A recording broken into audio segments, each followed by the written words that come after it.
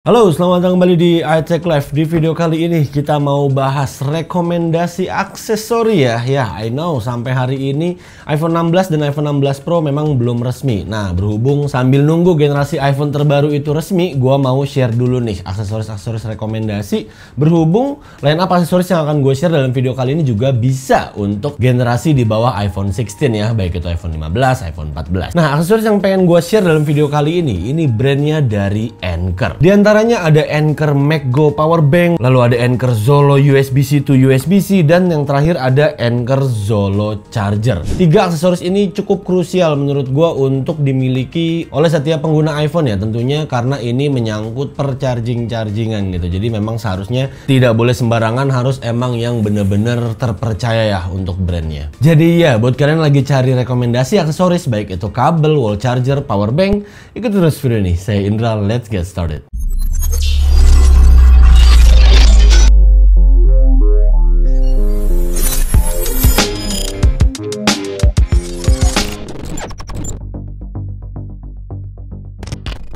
Alright, kita mulai dari Anker Zolo-nya dulu nih. Ultra Slim Magnetic Power Bank dan ini 10.000 mAh ya. Dan kalau kalian lihat di depannya, ini udah ada fitur Kitu ya. Yang mana kalau aksesoris wireless yang MagSafe tentunya ya. Kalau udah ada logo Kitunya seperti ini, lu bisa ngecas 15 watt secara wireless gitu. Jadi ya lebih cepat aja gitu untuk chargingnya. Dan di atas sini ada for iPhone 15, 14, 13, dan 12 series ya. Karena iPhone yang pertama kali punya MagSafe itu startingnya dari iPhone 12 dan of course ini juga bisa untuk iPhone 16 dan 16 Pro. Jadi langsung kita buka aja di sini. Oke. Kita akan lihat setipis apa sih ultra slim uh, magnetic power bank dari Anker ini. Sini udah ada wujud. Oh. well, hello. Oke, kita langsung buka aja dulu di sini untuk plastiknya.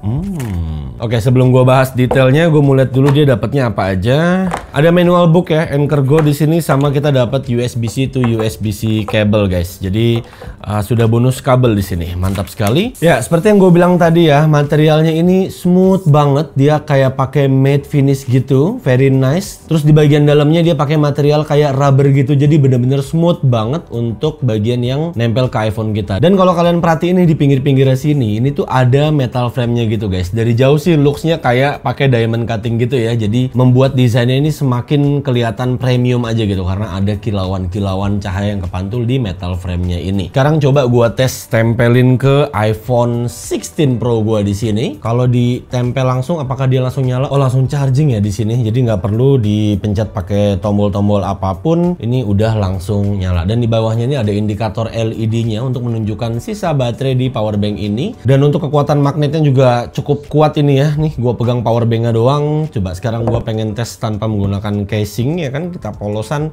apakah magnetnya juga sama kuatnya.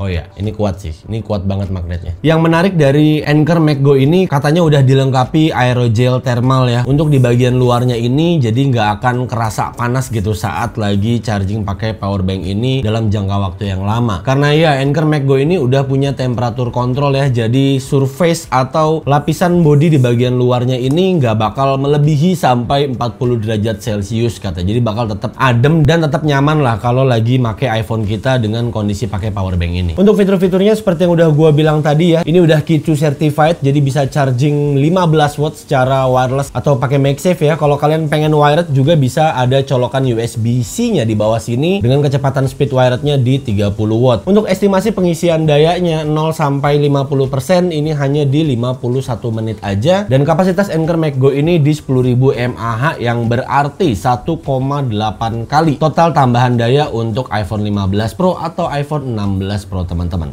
Sangat rekomend banget buat kalian yang suka berpergian, suka traveling buat backup nih, jaga-jaga kalau misalnya iPhone kalian low battery.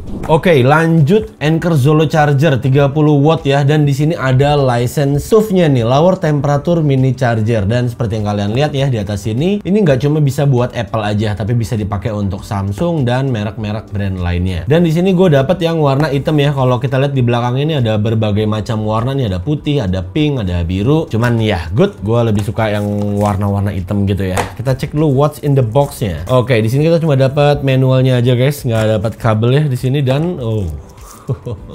Ini cute banget sih. Sizingnya juga compact banget dan finishingnya mantap sekali. Dikasih matte gitu dan di bagian atasnya ini kayak dikasih gloss finish gitu. Ada tulisan Anchor Z juga. Terus ada logonya nih IQ3 karena udah power delivery 3.0 ya dan ih ini compact banget sih buat dibawa-bawa seriously. Nah sebelum gue bahas fiturnya kita sekalian aja unboxing kabelnya nih Anchor Zolo USB-C to USB-C cable. Di sini tulisannya dirt resistant fast charging cable. Sama ya for Apple, Samsung, and more. Kita lihat kayak apa braidednya. Oh nice, nice.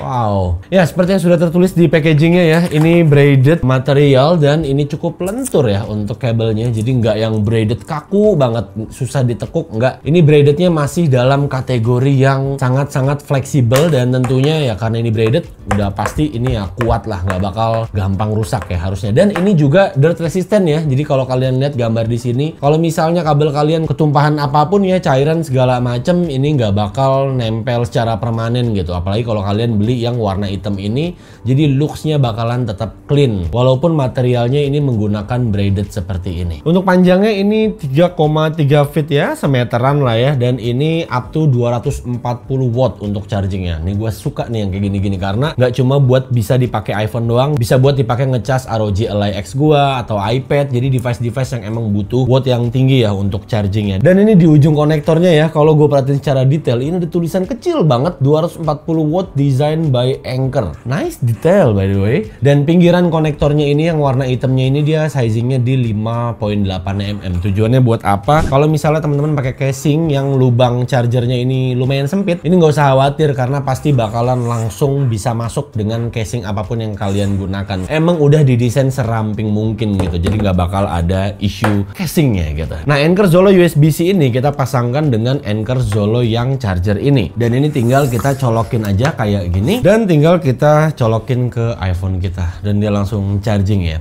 Jadi yang spesial dari Anker Zolo Charger ini dia tuh udah punya ice cool teknologi ya. Yang mana ini adalah teknologi baru ya khususnya untuk di Indonesia dan Anker merupakan brand pertama yang ngebawa teknologi ini untuk di dunia perchargingan. Apa sih Bang ice cool teknologi itu? Ya apalagi kalau bukan temperatur. Jadi pada saat iPhone kita charging dengan menggunakan charger Anker Zolo ini, suhu pengisiannya itu benar-benar dijaga banget sama wall charger ini yang sekitaran di 11 derajat aja. Yang mana ini lebih rendah ya dari persyaratan berbagai standar internasional dan udah mendapatkan sertifikasi yang udah gua kasih lihat tadi di packagingnya. Untuk jangka panjang ini sangat baik sekali ya untuk iPhone kita dan tentunya nggak usah takut iPhone kita panas atau amit-amit meledak gitu ya karena memang di dalam Anker Zolo charger ini udah ada banyak teknologi fitur-fitur yang sudah dipersiapkan ya untuk preventive high temperature dan sebagai macamnya bisa terjadi. Untuk pengisian dayanya ini ini udah pakai teknologi Gen 3.0 QC juga ya untuk ngisi daya iPhone 15, iPhone 16 0 sampai 50% cuma tembus di 26 menit nggak sampai setengah jam ya. Ini udah oke okay banget sih ya menurut gua buat sebuah wall charger yang compact, stylish juga desainnya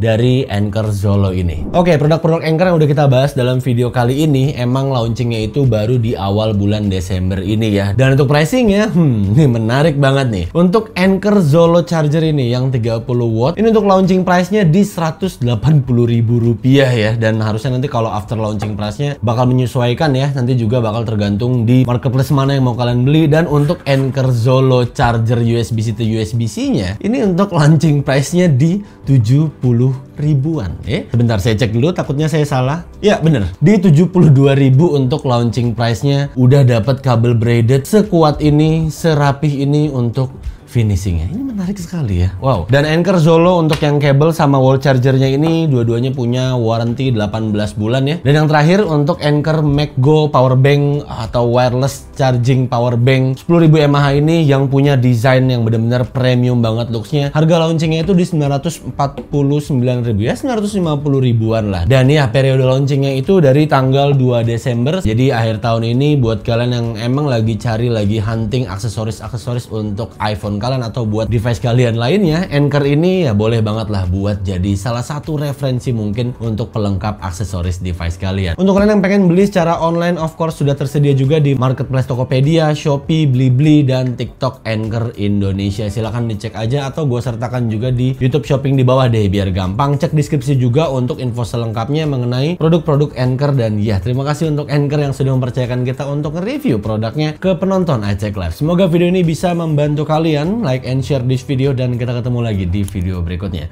Saya Indra, until next time. Goodbye.